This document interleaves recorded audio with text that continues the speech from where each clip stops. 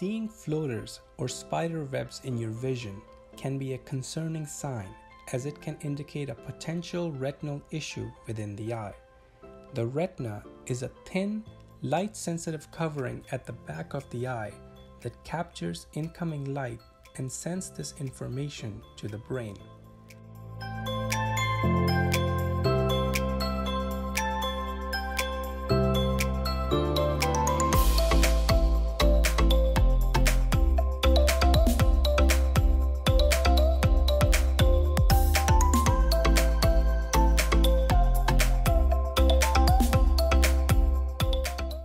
The retina is attached to a structure in the eye called the vitreous humor. This jelly-like structure degrades naturally with age and tends to shrink and become more watery.